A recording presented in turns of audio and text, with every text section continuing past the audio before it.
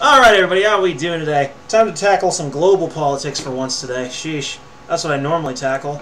But the local stuff has been very important lately and needed to be talked about. Uh, so, global stock markets crash as U.S. trade with China escalates. Yeah, the U.S. has actually been uh, damaging the purchasing power of the yuan. See, a currency's purchasing power is based on the national GDP. Your national GDP stands for gross domestic product.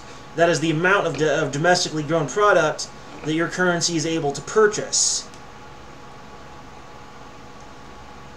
Your GDP is also affected by international trade, i.e., how much of your gross domestic product can be purchased overseas by another currency. The easier it is to purchase your stuff, the more valuable your currency becomes. And since Washington's been placing so many crazy tariffs on Chinese product, the value of the yuan has been dropping. Oh, but it's not just the yuan. It's also been affecting many of the United States and Chinese trade partners as well. Uh, escalation of the U.S.-China trade tensions spooked investors as Wall, as Wall Street opened deep in the red on Monday.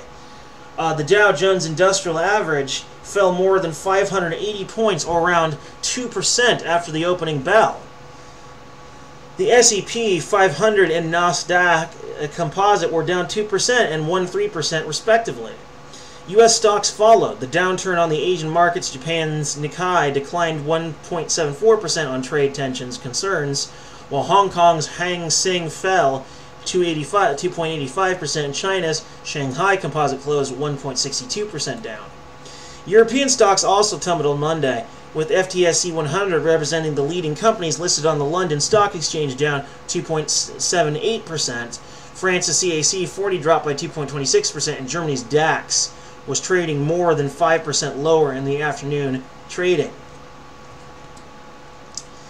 U.S. President Donald Trump took to Twitter, his favorite thing, on Monday to call Washington's trade war rival China a currency manipulator after the renminbi dropped below 7 per dollar for the first time in over a decade. China's national currency sank following Trump's earlier threats to hit Beijing with new tariffs in less than a month, amid the escalating trade standoff between the two world's largest economies. The president was quick to say that the move will eventually backfire on China. According to his tweet, it's called currency manipulation. This is a major violation which will greatly weaken China over time. It's not the first time Trump has slammed China for this, but the U.S. Department of Treasury refrained from, uh, uh, from officially labeling Beijing a currency manipulator, placing on the monitoring list instead. Apart from China, the list now includes Japan, South Korea, Germany, Germany Italy, Ireland, Singapore, Malaysia, and Vietnam. Uh, just just in, apparently now there's a place called Germany. Making fun of my own slip of the tongue there. The People's Bank of China, or PBOC, which is in charge of the yuan's exchange rate, blamed the weakening of the currency on the U.S. own actions, such as unilateral protectionist measures, as well as the ex expectation of additional tariffs on Chinese goods. According to Xinhua, the central bank also said that yuan has strengthened 20% against the dollar over the past two decades. Yes, we are killing the yuan and we are also hurting other economies as well. In some ways, I feel like Trump's like a 4D chess player. When it comes to facing off with the Democrats, he can force some of the weaker party members up to the forefront, forefront by making leading members look bad. And when they're represented by weaker politicians who are less experienced and have more radical views, that makes him look good and want to vote for him. However, when it this is an area where he's not a 4D chess player, but in fact an idiot. Let's not forget that he himself defaulted on loans and went bankrupt a total of four times. He's a fallible human being. Managing entire economies does not appear to be his forte. Not when he's engaged in this sort of action. He's hurting global economic trade with this crazy trade war crap.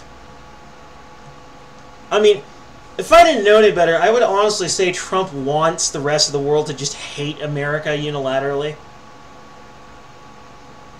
I've pretty much made up my mind. I am not voting for him this next election cycle. I'm hoping the Democrats come up with someone real good because I'm not voting for him. Hell, I- am hoping Bill Weld makes the ticket because I want to vote for Bill Weld. Oh, God, do I ever want to vote for Bill Weld. but yeah, the, I mean, see, hope we survive the coming decade.